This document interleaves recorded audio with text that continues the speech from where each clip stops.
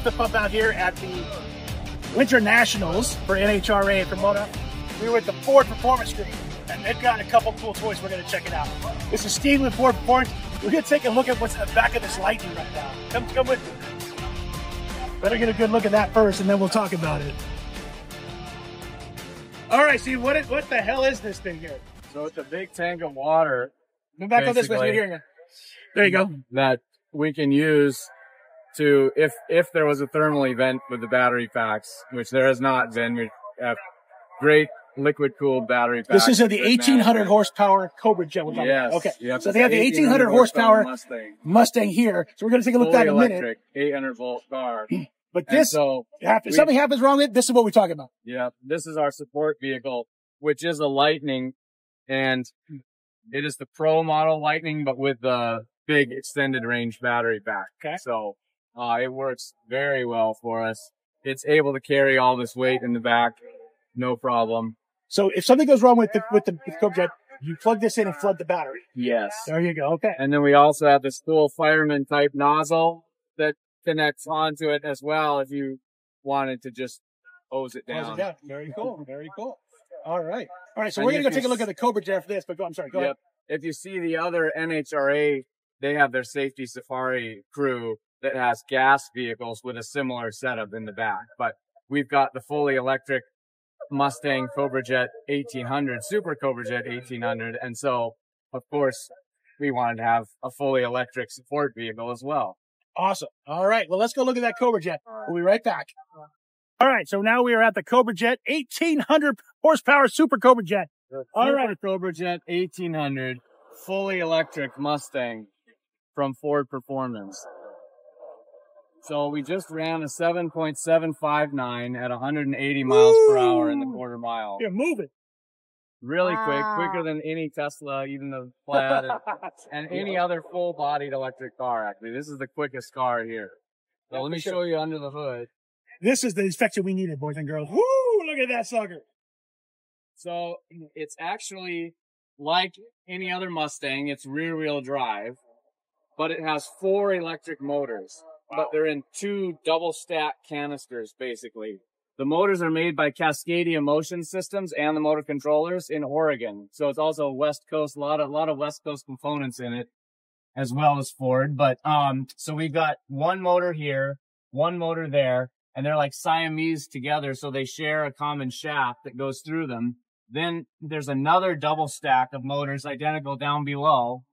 And then at the back, we have a big gearbox connecting the two. And then at the base of the gearbox, it's got something else unique for an electric vehicle, which is an actual transmission.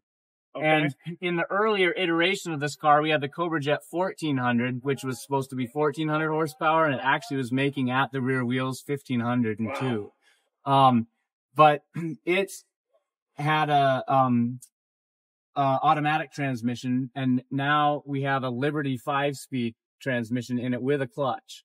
And so it goes from at basically at the back of the bell housing there. Uh, from there back, it's similar to a normal Okay. gas drag racing Mustang, but it's got a very smooth, extremely torquey, powerful electric power plant up front. Um, all of the orange cables, as with any electric vehicle, that's signifying high voltage stuff. They're very large because of the amount of amperage we push through these motors. Since there's four motors, there's four motor controllers, and that's what these are. They're from Cascadia Motion as well. And these are actually liquid cooled a cool thing about electric vehicles, I mean, something that I love about them is you've got one rotating part in that motor. Right. And I mean, it's basically a cylinder with a bearing in each end and a bunch of copper wire wound around and stuff. And, um, so they're very efficient. And whereas a gasoline or a diesel, uh, you know, internal combustion engine vehicle, maybe you're looking at 12 to 24% efficiency. So from that fuel, what actually makes it to pushing you down the road is only 12 to 24% or so of that. The rest is being wasted as heat and noise and pollution and stuff. With an electric vehicle, these motors can be over 90% efficient. That's And amazing. so yeah. it's incredible. And the, the size of it for the amount. So here with these four motors that we have, we're making 1800 horsepower.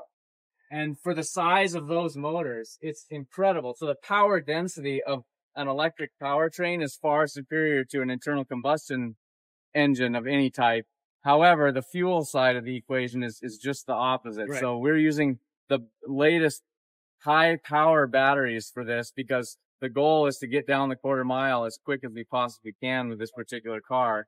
And even with the best lithium batteries built to be lightweight and everything for this car, um, we still, it, you know, well, there's four battery packs. So it's 800 volt pack. There's one battery pack here.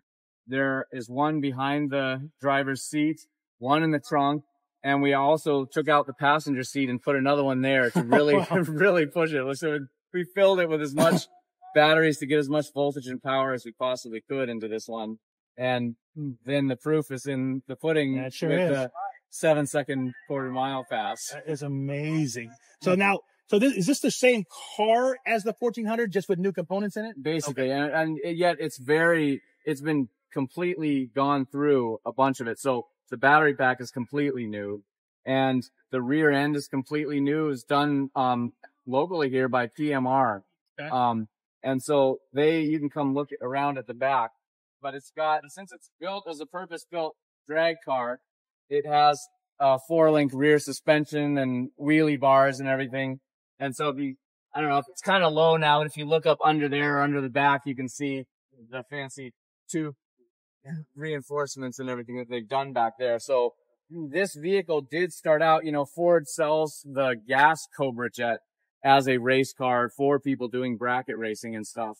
And so this chassis started out as one of the, it's, it's the same chassis. So it's a real Mustang chassis. Um, and there's still actual parts of the steel unibody and stuff there. It's not just a complete two frame car. And we got the, the actual firewall and, um, we, we did have it go on a diet as much as we could. so like the door is completely carbon fiber. The window is Lexan polycarbonate. And so this door, I can lift with one arm when we, we take the door off. Wow. Cause actually in our transport trailer, you know, since the car is wide and stuff, we just take the driver's side door off and have a hanger for it on the wall. And that way you can get in and out of it to move it in or out of the trailer. Aye, aye. So is your team the team that's also working on the uh, Pikes Peak cars and all that, or just you, no, you that's another one. So Okay. I work with uh, MLE race cars, McHugh Lane Electric Race Cars up in Seattle, Washington. And we partnered with Ford Performance and AEM and uh, PMR on this. And um, so we built the battery pack working with Ford and everything. And um, then did did a lot of the integration of all of this. And um, so yeah, we're also out here on the West Coast Okay, great. and there's um, some of the buttons down there for changing the modes on the screen. It has a little screen you can see battery information and RPMs and all sorts of cool stuff. And then um, you can shift since it does have a transmission. You can shift the gears with the buttons down there. okay. Um, it has a very substantial roll cage, as you can see, because since it is an electric vehicle, it is heavier than you would expect a normal gas vehicle of this type to be with all those batteries. Um, so it has a very robust roll cage to make it safe. And, um, then yeah, Sparco racing steering wheel, um, lightweight racing seat, radio to communicate with the driver. You can see the flood ports and stuff Yeah, I was gonna say I saw the battery I saw one flood port in the in the front. This is the second one. Is this? Yep. Is there a third one or is this it? There is one on the other side as well in the quarter window. So if you have to you have to know which what the flood. Um, potentially, or yeah. So depending on where, if if there were to be a thermal event or something, yeah, you different ports go to different battery packs. Um, the front one, of course, is separate, and then the side one here as well. So you check you got you check right there. It's crazy that is out there. Yeah, big big cable. So this is like move all that really literally one rolling battery and motor is what it is. kind of in a in a beautiful Mustang exactly. body. Exactly. Yeah. I like that it's a, you know, a lot of people come up and like, oh, this is a real Mustang. I'm like, yeah, it is a Mustang. Um, and carrying on the Cobra Jet legacy of making fast Mustangs only with a new modern twist. And it's fully electric, zero emissions, and the torque is extreme. It does huge wheel stand, so we Uh-huh. need the wheelie bars on the back. So funny enough, we we did an event on Sonoma Raceway and they had the 1400 version. yes, okay. And I actually got to stand tra- uh, dra- uh, trackside Fantastic. when they had that. Yeah, Holly Voltage. yeah, And that sucker, 1400 1400 horsepower. Oh, Whoa! I can't Yeah. imagine with 800. We, didn't- we missed the run, unfortunately, but, uh, Ah. but we did see this at a 1400 go down the strip and it went Yep. quick. I think it was Yep. an eight something yes. Our quickest time with the Cobra Jet 1400 was an 812 Yeah. at like 171 miles per hour, almost 172 miles per hour, basically. Yeah, we were there for that, and we dragged our, our Tesla and won that here. That was fun, but it was really cool to see, uh, to be up close to the trackside and this sucker Yeah. just launched and just twisted in and the daily mark. So it was really cool. Well, hey, thank you very much. You're welcome. Appreciate the tour. Ford Performance, you know we love it. FPump.com.